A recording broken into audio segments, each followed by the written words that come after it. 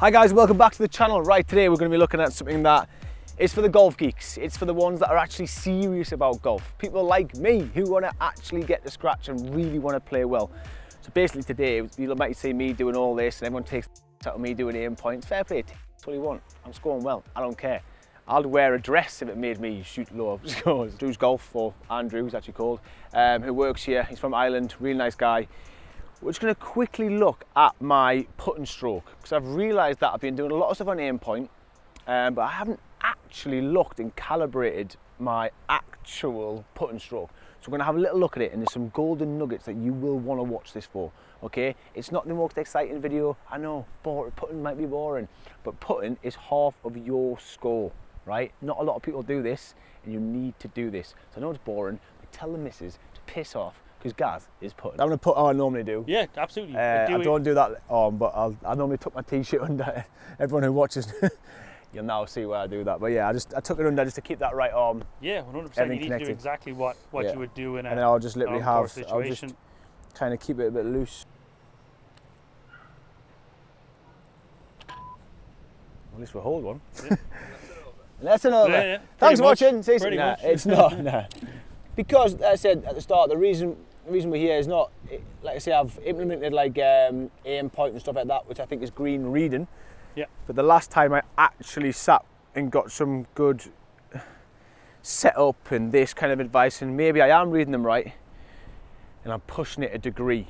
And this is like I know it sounds mad to people watching this, but like this is the kind of stuff you need to dive into if you want to be scratch or whatever golfer you you have it like some people don't even have putting lessons Yeah, they don't even have stuff Yeah. like this it's So like most underestimated part of getting well, I've learned that I've learned know. that off, I reckon aim points help me by about four shots around Yeah, on average you know. easy Yeah, yeah. Like. I've literally so like if I can throw this in the mix and make sure I'm hitting it right yeah, of course. it like, could even be like five or six the shots around combination of the two could be could be really significant.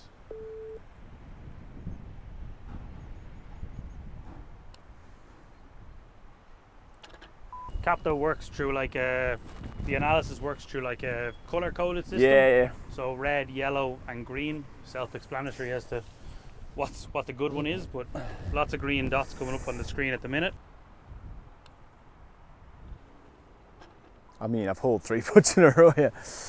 Doing very good. I've always said this, putting is one of, I would say, one of the strong, well, it has been. Now it's Yeah. probably not driving at the minute, probably is, but putting's always been up there, hasn't it? But, Yeah. but then, then this week, at the Cala, I think 10, 12 foot, Yeah. even this range, I haven't really hauled any. It, yeah, yeah, yeah. And then just they have, whether that's me mean reading them right and then bottling the pace, but Yeah. the stroke was actually really good. Mhm. I don't know, but again, even if you're not, it's good to just every couple of three, four months, whatever, just check these things. Absolutely, yeah. Do you know yeah. what I mean? No, like it, it's it's almost for the for the normal golfer, it's going to make up almost fifty percent of their round of golf. Oh yeah, putting They're yeah. putting. So, you know, why do you not put any time into it? Why do you not get any lessons on it?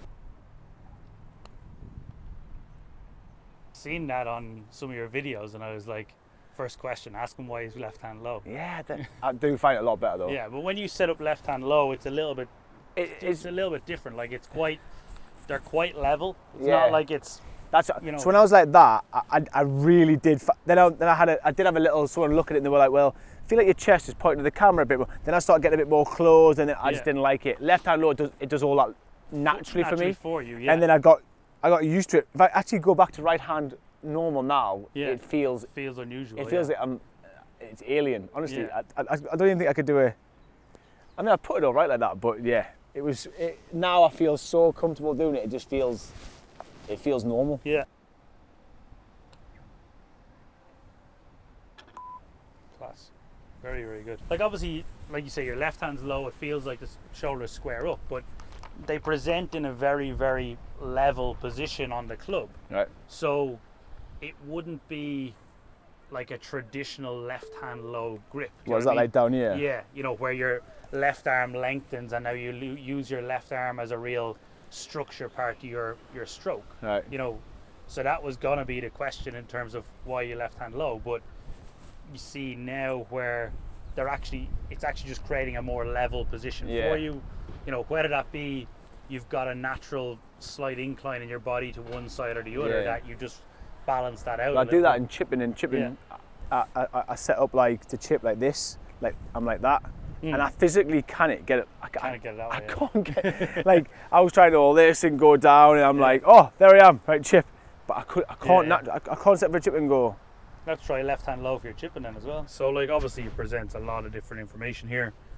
Good sign on that last one, wet in the hole, no red, no red dots. So you know everything's within a very reasonable range of what you're looking to do. Face impact, you know, 0.4 degree of open. Yeah. You know there was one or two in there that maybe is like 0.8 Yeah, yeah. on a putt such as this length. Significance very very small. Okay. On a 20 footer. you start to get further away, you know, obviously you be getting a degree open, but obviously at the same time it is a 30 footer. So Yeah. from a track point of view, you are slightly outside the line as you start your Downswing. downswing or down part of the stroke, and then you continue out to the right. You can see how just a slight difference in terms of the arc. This arc is probably maybe slightly too big for yourself. That it's a 15 degree arc. Right. You're probably looking at slightly less, but you know, yeah, for, like for now, Yeah. for now, trying to feel like it does arc that little bit more. Yeah, so that should give us a different read on it. Straight away, you've gone from from a li- couple of degrees or a degree out in Yeah. to kind of 0.5. I just kind of bottled out. it. All these have gone red and Yeah. yellow, haven't they? It wasn't, Well- wasn't a very good putt. There's only one gone red, and it's not one I would be too worried about. So, you know, but the, the main thing we looked at was the face was consistently open, and your track was consistently Out. slightly uh, slightly out to in.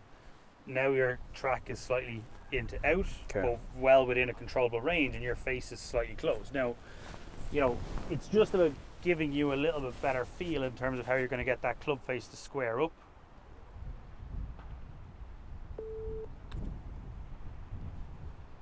Try and really try and trace it just for a couple to give yourself that feel.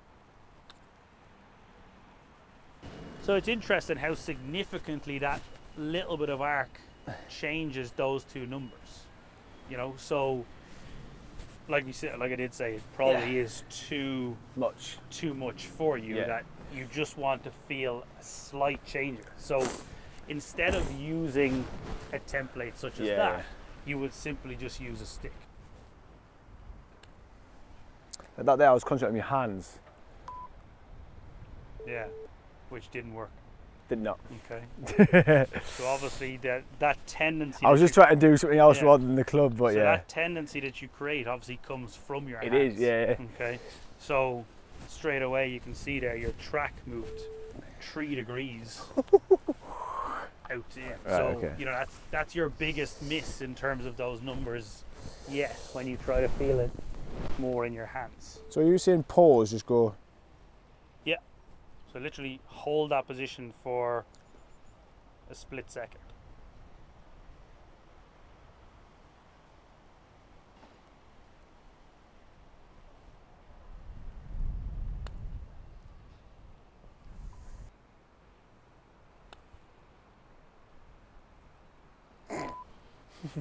There you go. There's your track at zero zero. Good. Nice. That, that- you can definitely feel a difference when I pause. Yeah, I And that, that's, as I said, it's just purely a drill that you can do in practice to try and achieve that, and just do it over and over and over that again. little better position. Gives you a better feeling for that position because you're actually stopping there, and then, you know, coming from that position rather than, you know, when you're having continuous movement, we can see that there's that tiny little loop back out, which Yeah. is what, you know, something we don't want. But I'm not going to say you do it over and over again. It's more like couple of them just to get the feeling of that back into it and then step away. I'd much prefer to see you do repetitions with with Alignment stick. stick, yeah, yeah. Um, you know, really, a really, fluent motion. really close to it know, and just. yeah, so it's more realistic and it's just giving you a little guide in terms of where that putter head wants to move. If that corrects everything else, I feel easier doing that than I than I do trying to concentrate on the arc. Yeah, yeah. I, f- I feel I feel it's easier if I just make Yeah, sure I kind of go arc- back and then I just keep it a bit up here Yeah, and not go in here. yeah, not allowing it That's to go. kind of then maybe it'll correct. What you're Exactly. saying is if that corrects itself. that corrects itself. I think that's the thing. It's just exactly. fi- it's also finding something that works for you. for you. Yeah, I can yeah. easily do that in the course. Yeah. I've got my line, I know what I'm doing, I know my distance, I've just got to make sure I go back and keep the keep, put that, that way, not Yeah. down here. Not down there, yeah. And that's kind of done, that's closed the club face. yeah. yeah, that just neutralizes it all a little bit for you, and you know, you you, you start the ball online a little bit better then, you know, and that's that's got to be the It's key. got that, that's no, no point four that last one as well. Isn't it? Well, right. thank you very much for that. Cheers, thank you. Thank Pleasure. you very much. Let's see if, uh, yeah, haul a few more puts. As always, guys, thanks for watching. See you soon.